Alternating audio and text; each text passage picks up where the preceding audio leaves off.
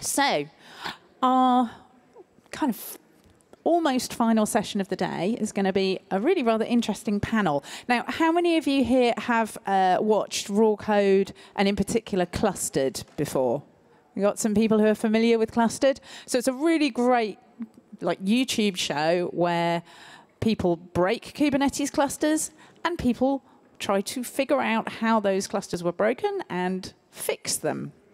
So we've been doing, uh, over the last couple of weeks, we've had uh, some teams fixing some broken Kubernetes clusters using eBPF tooling. And so our panel today is going to be hosted by David Flanagan, also known as Rawkode, who is the host of Klustered. And we have a panel with representatives of our three teams who uh, fixed those clusters. We're going to learn about how they used these eBPF tools to solve problems that are representative of real world problems.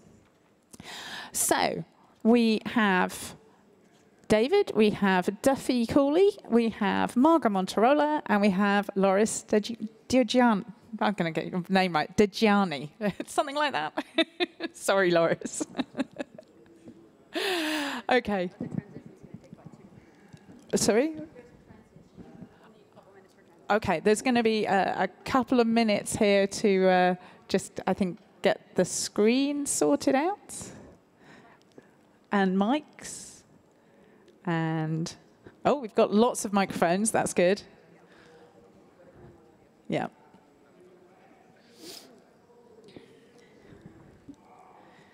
So I guess once the microphones arrive, maybe we can start with Loris and have the speakers just introduce themselves. How about that?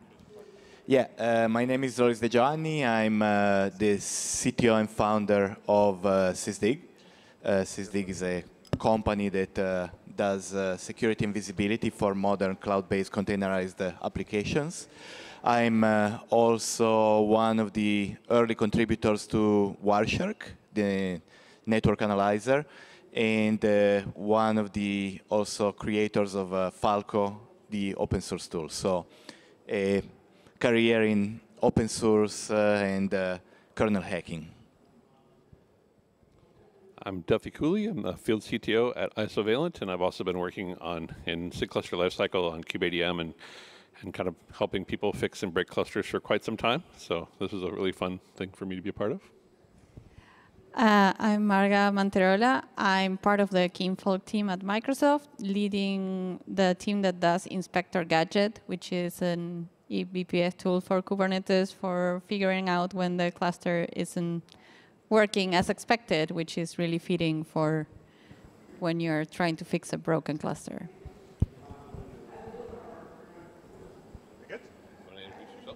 Oh, hello, whoa. Uh, hello, my name is David Flanagan. Uh, I go by Rawkode, and uh, I'm excited to have this panel. So we have slides. Okay, we're good. So let me fill you in a little bit for the people that are not familiar with what Klustered is. I, I often call it the worst idea I ever had. Um, having people break Kubernetes clusters and then live streaming fixing them is extremely stressful, but also a very valuable learning experience. And we have two different versions of Klustered. One is solo edition, where it's just one community member and another community member, and we also experiment with teams editions. And I'm always looking for new victims, so feel free to reach out to me. I also want to thank Equinix Metal. They provide the hardware for the three clusters that we are going to watch get fixed today. So we've got teams we've already done the introduction, so we'll skip by this. And I want to just say before we show the videos that this is not easy. So I want to thank everyone involved, the breakers and the fixers. Like uh, being given a cluster and you have no idea what is wrong with it is uh, intimidating and stressful, but they all absolutely smashed it. So well done. Uh, and all of the tools that we're going to see today to debug and fix these clusters are open source. So this is stuff that you can play with and experiment in your own time as well. All right, so we've got our first video, and this is our isovalent cluster. Oh, we don't have audio. Can we get audio?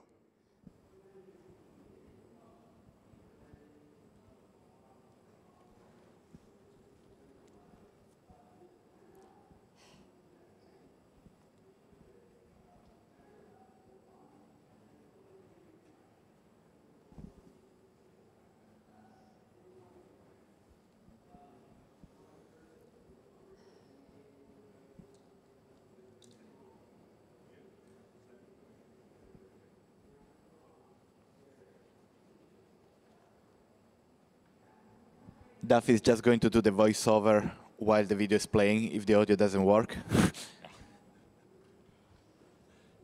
Yeah, it's so fun. It's so funny. Looks like you're there frozen on the screen. That's definitely my that's definitely definitely my troubleshooting face.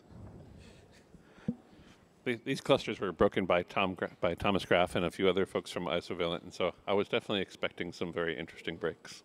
Yeah, for sure. I don't know how nice your colleagues were with you. Mine, mine were very nasty. Oh, were they? well, one of the problems that one, of the problems in our cluster that we'll talk about here in a second was uh, was obviously a DNS problem because you know it always comes down to DNS. And some, It's always DNS. and then and then another one we thought that we had fixed it, but it was a decoy problem. Like you get past that problem and you're like, no, it's still no, it still isn't working. Should be fun. Is it working now? No?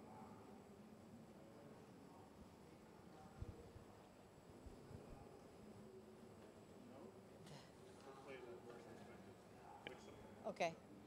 So we're starting off by just you know taking a look at what's happening inside the cluster. We're just trying to see what's happening, and we can see that initially we see that there is a pod that isn't up and running, and we're trying to figure out like why that pod isn't running, and we find a very important init container that is basically keeping it from from running by trying to make a connection to Google.com as a pre-check for the container. So until that init container happens, it won't start up.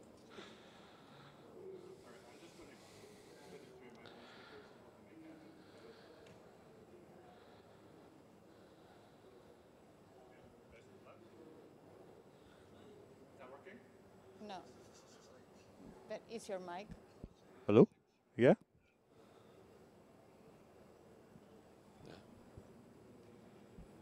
Hmm.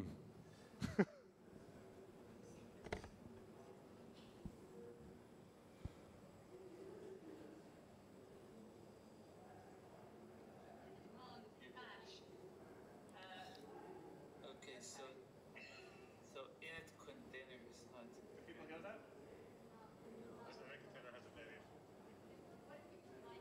Yeah, that's what he's doing.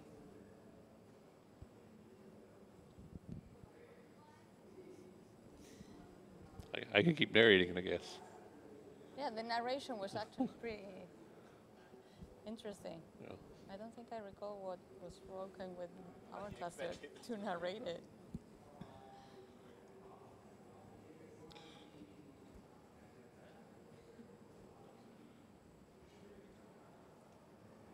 Uh, I guess we can describe what's happening. Yeah, I guess I'll keep going with the narration. Yeah.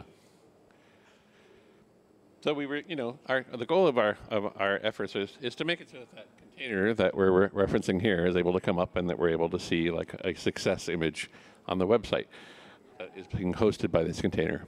And so first we tried to figure out like what was happening with the um, with Google.com, and we eventually came to the conclusion that what was happening was that um, someone had actually put google.com into the Etsy hosts file, pointing at like some other, you know, URL, and so it was never going to actually resolve because it was okay, it was against some. I think it was against localhost or something. And so that was actually probably one of the more creative DNS problems that I've seen in a while because basically it was just intercepting it since Core DNS was using the hosts file to determine what the what the result of google.com was. And at that point, we started moving on to the second set of problems. And the second set of problems, actually, I think we're still talking about the DNS one here. So we're trying to figure out like what the problem was. And we had a policy that would allow for um, us to communicate to google.com, but for some reason uh, it wasn't resolving. And so we were trying to figure out why it wasn't resolving. And the reason was because of the host file, which was very clever. Thank you. Thank, thank you, Breaking Team, for that one. All right. Finger crossed. That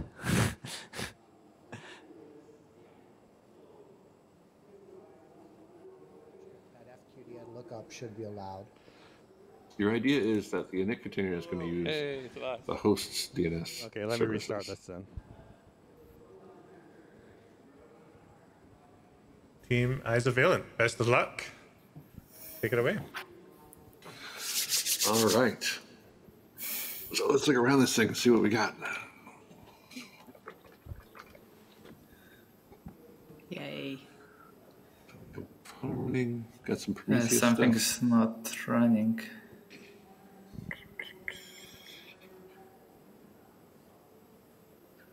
Two two nine Command computer. Uh, Okay, so Okay. so init container is not ready. And this init container has a very important name of probe do not delete. So this special version of cluster to just for Team Isovalent must be able to reach Google before it can start the clustered application. Given that we are a networking, you know, plugin, maybe there is a networking problem here we need to look at. That looks Oh, good. This is nice. Yeah. Everything's running. Yeah, it tells us that And we have a Hubble deployed. UI. We have a, a UI running, so and we have Hubble running, so we can use Hubble. Mm-hmm. Yep. Um, but if we rewind a bit, so we had this init container and it was not in ready state, and I believe it was doing ping google.com. Correct. So I'm wondering, uh, it should use the host resolver. So even if the core DNS was not functioning, like if it was not able to shouldn't actually. connect Still a to pod. Cube It's API. still a- So I see here we've got the rule that allows anything to reach kube-dns. It also has a rule to allow to star.google.com. So that should, that FQDN lookup should be allowed. Your idea is that the init container is going to use the host's DNS services. Correct?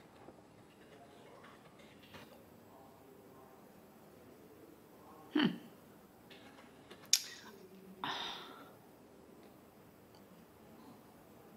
Oh, And there we Here go. that would not be. so how's our pod looking now?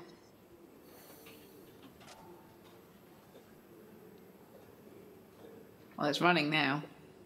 So is this where we're supposed to try and upgrade it?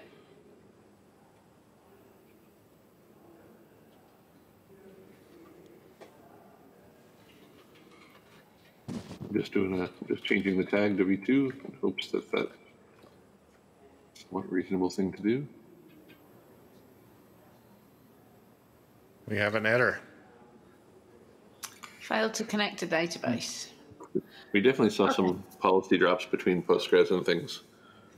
Yeah. So let's take a look at that policy.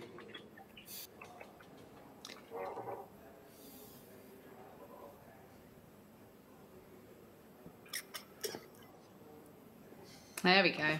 Okay, there. Well, Uh, it is policy denied. Wait, what? Cluster Fluent talking D. to a What, what's that got So to do with the wrong fluency? service selector here? Shouldn't redirect to those endpoints. It should be re- redirecting to a different endpoint. That doesn't seem right.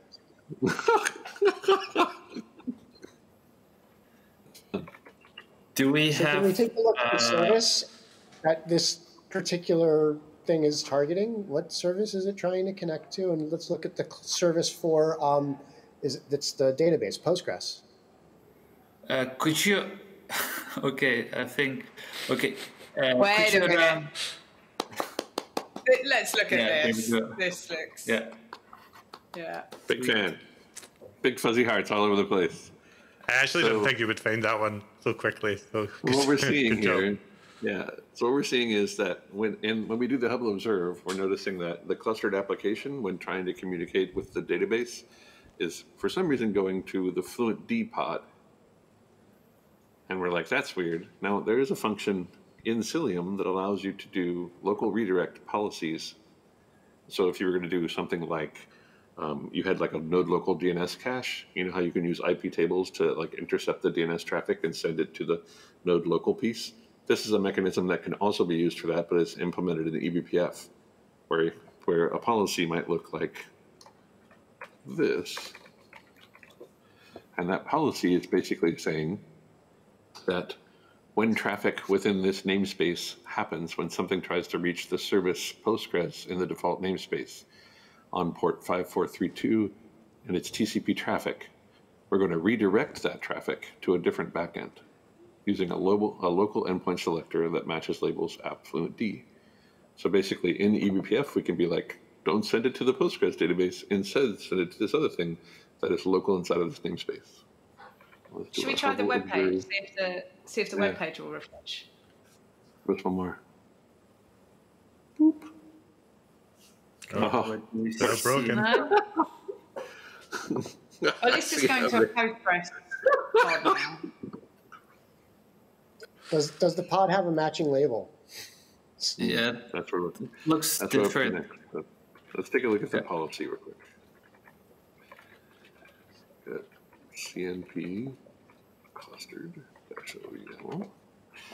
So reading this, I'm looking for app e- app Postgres and app clustered. So if I did kubectl Or you could just do get pod show labels and see what use it actually all the labels see are. what they actually did call it. Oh, It's PostgreSQL. they got all fancy. Yeah. He's guessed it before it even happened. Well done. But can we do the browser check again?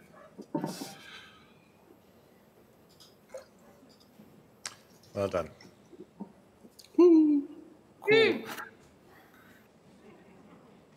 The goal of Klustered.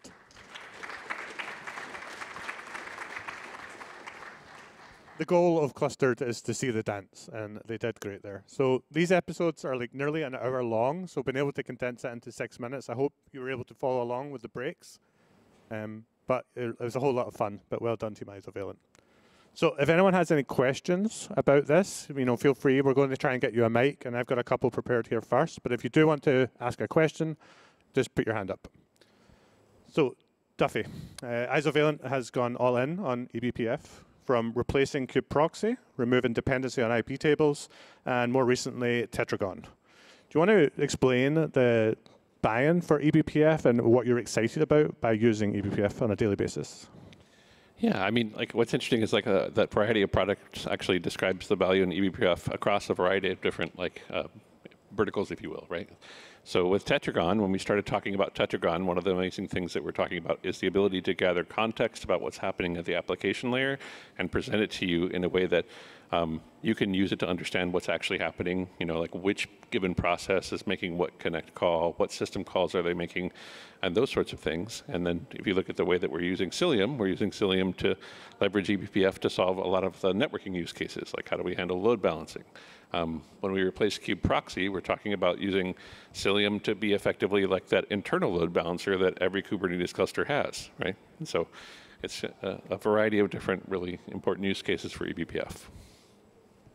Awesome. What I really loved about our session was the developer experience, which we haven't got in that six minutes, but the videos will be available. But there was the Hubble UI, there was a Hubble CLI, there were Grafana dashboards that were shipped, uh, and even the use of the Cilium editor for network policies. So you seem to favor the CLI in our session, and I was wondering if you could tell us a little bit more about it and how people can also use the Hubble CLI. A little bit more about what? Sorry. Sorry. Oh, can you tell us about the Hubble CLI, why you enjoy using it, and what people can do with it? Yeah, I mean, for me, the, the part of it that is kind of amazing is that um, Hubble CLI gives you a view into what's actually happening at the network layer as far as connectivity and that sort of stuff. And so it's basically just a way of, of using a text-based uh, visualization tool that lets you see like event-based network connections between things. And in this age of microservices, where we're actually like, where there's a network between everything, like we need that kind of visibility to even know where to begin to troubleshoot, right? Like, because usually it's not. I, I mean, how often has it been an actual application problem versus that there's actually something on the network? Maybe you've misdefined a network policy. Maybe you're, uh, you know, typed the wrong URL and you actually wanted to see like some kind of an X, NX domain that you, that you, you know, that it is actually DNS. But like some of the, some, this visibility, I think is is pretty killer. It's one of the it's one of the big differences. Awesome, thank you. Uh, did anyone want to ask a question about Hubble, Cilium, or to Duffie? All right, let's roll the next clip.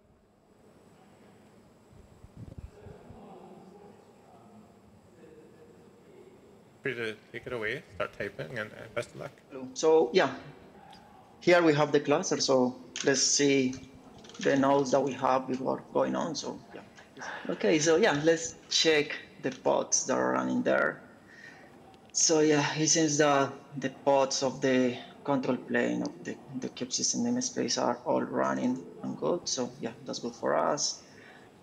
And yeah, we have this pod that is in crash loopback off state, so probably this is the one that we have to fix now. We can get the logs, so get the pod, the name of the pod. Oh, okay, so let's describe this pod and see what we have there. I think, yeah, we have a sec seccomp security profile there. So Okay. yeah, if, if we have a permission denied problem, maybe this is related to, to seccomp. Yeah. Yeah, we have the, annotation here. So And it's a custom one, so that's suspicious too. Yeah. Okay, so yeah, I think we can use Inspektor Gadget to understand what is going on with this seccomp. Probably what is happening here is that the pod is trying to use a syscall that is not allowed by the. So in order to use Inspektor Gadget, we have to install this in, in our cluster. So yeah, this is Gadget. Audit seccomp. So this is telling us that there is a pod running on this node, the default namespace, and this is in fact the pod that was crashing before. This is the name of the process that was trying to perform a syscall. Uh, this should be, yeah, I'm a little bit confused by the output here. This system call is not part of the clustered spec, um, but it's not the reason the pod is crashing yet. Yet, at least. This is uh, two breaks colliding together to cause uh, a very unfortunate side effect. But what else would give you permission denied if it wasn't a syscall? well, capabilities. All right, so we can trace capabilities. This should be good. Okay, here we are. Mm. Oh, so we have security okay. contest capability drop all. Yeah, this, this is not good. We are running the pod without any capability, of course. This is gonna fail. What we need to understand right now is what are the capabilities that are required by this pod. So yeah, I think we can use the capabilities gadget to get a list of, of the capabilities that this pod is trying to use. So we have Uh, kubectl gadget trace capabilities. We are only interested on this one. Oh, here we are. Okay. Yeah. Okay. Okay. Got it. That. And yeah, this is the name of the container, the UID, the PID inside the container. This is the command that is trying to do that. And this should be the capability that this is trying to use. So NET_BIND_SERVICE.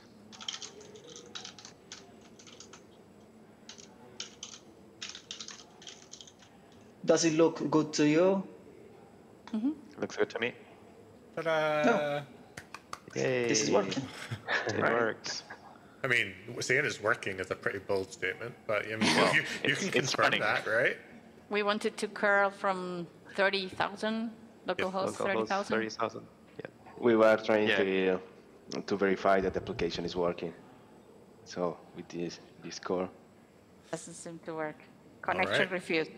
So there's there's something else that needs to be fixed.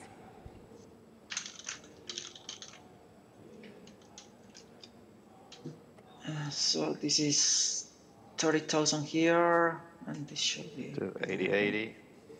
So what's the pot?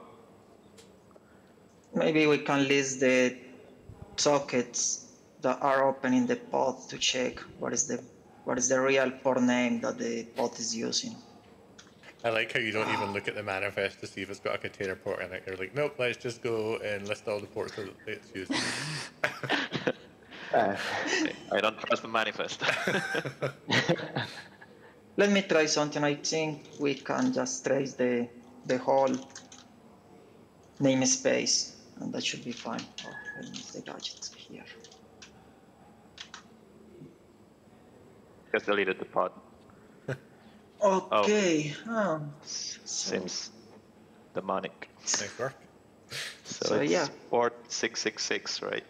So okay, what we can do right now is to edit the service and change the port. I think that's the easiest way. Mhm. Yeah, yeah, sounds good. Yeah. Nice try. Okay, something doesn't work. Another thing doesn't work. Your last break. I think somebody said before that seccomp wasn't the problem yet. Yeah, I think that's. And let's use that on the whole namespace. I think this is okay. I think what's All right, interesting so- about this is that Postgres traffic means your request has been received and the application is trying to respond. Okay, so yeah, it doesn't seem to be a problem with the networking because the traffic is arriving there. and The full connection is established. So I hadn't yeah. seen that TCP connect before. That's awesome. Okay, I'm sending a request now. Is shut down? Can you try to send another request, please, Iago? So I turn off the JSON output, so this is easier to read in this small Yeah, terminal. because yeah, it is shut down. Uh, it was funny that you said that the JSON is easier to read.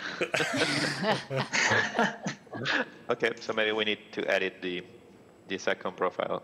And because the shutdown is never called, the socket is never flushed, and the response is never sent to the client. Let's do it in alphabetic order. I appreciate that.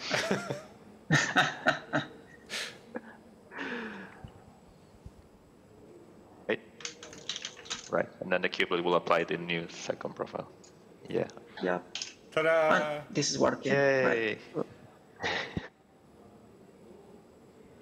All right. So that was quite a tricky one. We dropped all the capabilities. We added a custom seccomp profile that was missing one syscall, and I gave them a pod with no idea what port it was running on. So all right. So debugging Kubernetes is a, a huge challenge for all teams. Uh, but what I thought was amazing there is that you, you really didn't look at the YAML to see if there was a container port. You just listed all of the ports that the container was using, and I thought that was uh, very, very cool. So can you tell us a, maybe two of your favorite gadgets that you use and uh, why you like them? Sure. Yeah. So I think one of the cool things about Inspektor Gadget is that it has like a wide array of things. And it has very simple gadgets like tracing the exec syscalls. And so you can see like if something is executing a command and it's not finding the command or whatever, you can see what's happening or like tracing the open files. Like these are very simple but very useful. But it also has like complex gadgets like the network policy advisor that can capture output and generate network policies based on the output captured. And so, yeah, I, I guess I like the flexibility of the different gadgets available. Awesome. So we use the custom seccomp profile there, and we are seeing more people adopt seccomp and apply them to the container images. But I think there's still a lot of frustration around generating those profiles. So could you maybe give us some tips and advice for doing that? Right. Yeah. So we also have a SecComp uh, profile advisor that is just for that. So uh, you can run the advisor uh, like in capture mode first to see all the syscalls that your pod is making, and then just tell it to generate the profile, and it will generate a profile with just the syscalls that your pod is using, and you will have a matching profile. You don't need to handcraft it because like it just generates a profile for you. Awesome. Thank you very much. Uh, we'll just do questions at the end and we'll move on to the, the next one, which is the Sysdig video. And I, I just want to say, like, I worked with breakers from all of these companies, and I've got to say, the Sysdig breakers really wanted to make you sweat. Like, they, they really wanted to cause you some trouble. So Exactly. I can tell you that All your right. colleagues have left you some Falco workloads in the cluster. So we have s- five Sidekick UI. Yep, if you want to access the Falcosidekick UI, I'm happy to open it in a terminal browser on the site just so the audience can follow along. I mean, right now it doesn't So- look like anything's broken, so you're. Go. Okay. Failed. Failed to connect to database. Failed to connect to database. Password authentication There- failed. There- there's also an image here in the page. you can, can we open it with the browser? Where is the chat? Okay. looks looks like we're looks like we're upset. Um, should we go take a look what the sidekick is telling us? If if if, tell, if we get any hint from uh, maybe any any Falco output first of all, maybe it's captured Yeah. something. We have an, an exec into a pod, a DB We have- program was spawned, and bash history was deleted. Uh, a naughty Um, person has been in one of these pods, I think. Schedule cron jobs. Hmm. Keep scrolling. Three times. delete or rename history, attach or exec in pod. Definitely somebody has uh, gone into one of these pods. Which one is it? Yeah, and there is a an alter It's- user in the database. hmm It's Postgres, right? There's also the password in the alter command. exactly. So, Not today. so the, so somebody, I think somebody, somebody went, somebody went into the Postgres pod and manually changed the password. Is that what they, is that, that what they did? It's very cool that Falco gives you visibility into these arbitrary random commands within a pod. That's pretty sweet. It would Oh, appear the Postgres pod is running Nginx latest. Oh, wrong image. But the Falco UI also said something. Uh, containers image Postgres 1.3 Alpine. So we have a mutating Marcus webhook Steiner. somewhere. Those are nasty. I would maybe get rid of that. I mean, your Falco UI here shows you that the webhook Yeah. DNS is modifying all all container images to be Nginx latest. So I did it. I did it. I can delete it man, right now. Just nuke it. yeah, mutating webhooks are, are pretty opaque. You don't know what they do. You just know the permissions they have. So we, we do have V1. So currently our application is working. Well, look at that. So now you have to upgrade it to V2. Just do a sysdig with uh, uh, event.type equal execv, and we're seeing, and, and we can see the executions in the cluster. Okay. Yeah, Yeah, exactly. there's some kind of hidden process probably somewhere. Uh, here, There's see a some process. execvs. There's a process called definitely not. Yeah, that There's looks what, HTTL. what, where do you see it? Or now that we need the, What is the name definitely? of, What is definitely not? What is that? It seems to be running not. date and sleep, and that's- yeah, those are So, interesting. What if you just kill that process? We have the PID from uh, sysdig, right? Try try just to do a sysdig filter with the definitely prog name. Pro, proc.name contains Definitely. definitely. Maybe let's try from sysdig. Uh, but again, I don't know when the damn thing uh, starts. But let's try from sysdig. And before the filter, do dash p proc.pname.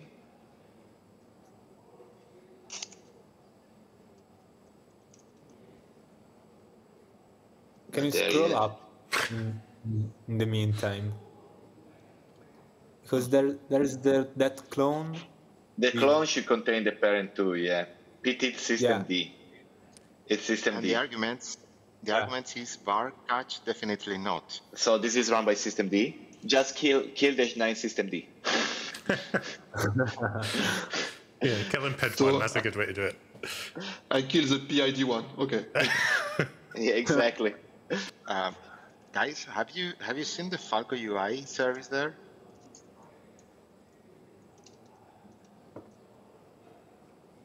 Do you see that? Uh, I would like to check the service Falco UI, systemctl cat Falco UI service. Good call. There you are. Bar catch Definitely definitely, not. not. Yeah, yeah, yeah, yeah, yeah, yeah. Cool.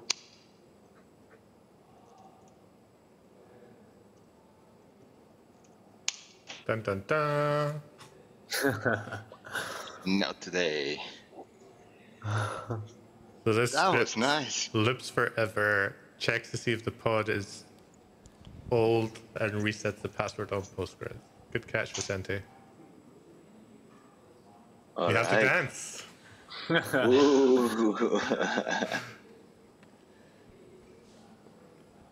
So what was really funny about that is they had the bad code inside of a Falco UI service that obviously wasn't Falco UI, but they actually went to the extra effort of that bash script, which was running every five seconds initially, and they said it's too noisy, they'll find it too quickly, and they actually made it check to see how old the pod was, so that it only ran when they deleted the pod. Yeah, exactly. So we were trying to capture it, but it wasn't happening often enough to, to, to actually be able to see it. Yeah, it was very they, nasty. They put a lot of effort into that, so that was a, a lot of fun. And we see mutating webhooks a lot on Cluster. They they are very opaque. They're difficult to track down. So it was actually really cool to see Falco with Sidekick and the UI actually give you visibility into what was happening in that, which was kind of cool. So something that I often see is that security is still kind of considered like a day two problem. But now that we have tools like Falco coming in and becoming adopted, and there's ability to share rules, um, do you see a shift changing there where people are starting to maybe work on security earlier?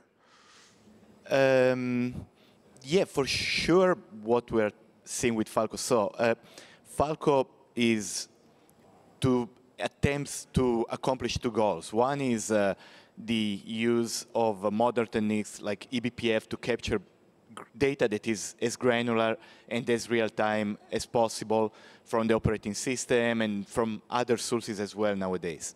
And the other one is creating sort of a simple policy language that uh, people can use uh, really in a community way. A strong belief that we have in the Falco community is that uh, um, you can uh, have a chance to win the war with the bad guys only if all, all of the good guys can get together, you know, on a single platform. And a way to, for example, create security policies that are built on top of a simple language that is working on top of eBPF is one way for the good guys to work together. And for sure, we're seeing, you know, people to are are incentivized essentially to, to produce policies and rules that then become a value for the whole community. Do you feel that we're on the path to there being a secure by default rules or policy that can be deployed to our Kubernetes clusters? From one point of view, I would say uh, we're going toward the direction. From the other point of view, it's also constantly a challenge because because security is always it always environment dependent, right? So building something that works out of the box for everybody is the dream, and definitely with every iteration of security tools, we're getting better and better. But I don't think we're there yet uh, with something that just works out of the box, you know, for everybody and is secure by default. Okay, right. I'm going to throw this out to all of you now, and maybe we can have a bit of a conversation. But I think what's really cool here is that we've seen eBPF applied to networking, security, debugging. You know, it's almost a superpower that anybody can learn and harness and use. So, do you have any tips for people here that want to adopt eBPF? And uh, let's try and tackle that as consumers of eBPF tools, but also as being eBPF developers. So, any tips and advice for people? Uh, I don't know. Uh, I can go first. Uh, in my opinion, uh, so eBPF is uh, a super cool technology, incredibly powerful, uh, and I recommend to anybody to learn more about it. It's such a, a powerful Swiss Army knife, but at the same time, you don't need to be like a compiler expert, a kernel expert to take advantage of this what we saw in this panel, what we saw today is that uh, there's a bunch of tools, Cilium, Falco, uh, that uh, expose this kind of functionality in a way that uh, doesn't require you to be a rocket scientist, but still allows you to take advantage of this. So start maybe from the tools, learn the tools, and then use them as a way to go deeper and actually learn how it works. Yeah, I completely agree with that. With that direction, I think that um, you know even earlier today we saw a talk about leveraging um, Pixie and and some of the um, and some of the capabilities of just leveraging bpftrace, right, to understand what's actually happening on your systems. I mean, as a system, I'm, an old systems administrator and I've worked in networking for years and years at this point, and I would say that for me, the easy entry point into BPF and starting to learn and explore what it was, what was possible, was playing with those tools, right? Like being able to use BPF tools that um, kind of already existed in the community to like look at the set of problems that I'm used to looking at in a different way, you know, getting more context presented maybe at a higher abstraction, right? Being able to understand, you know, what system calls were happening at the same time as the networking problem that I am having was happening, right? Like being able to kind of like widen my perspective with these tools. Yeah, it's, it's that's definitely I think a good place to start. Yeah, I agree. I yeah, I'm not sure I have much to add. But earlier today there was a plug for Liz's talk uh, from last year, so uh, for those that were not there. Uh, that's like a good introductory talk. And I think the bpftrace uh, is also a great tool to getting acquainted with like what are the different trace points that are available, what kind of things can I do, and you don't know you, you don't need to learn all of eBPF to just like start experimenting and do a few cool things that maybe are not particularly useful, but it's like the first taste. It's like a hello world that you can then move on to do something more interesting. All right, thank you. Um, does anyone have any questions for our panel?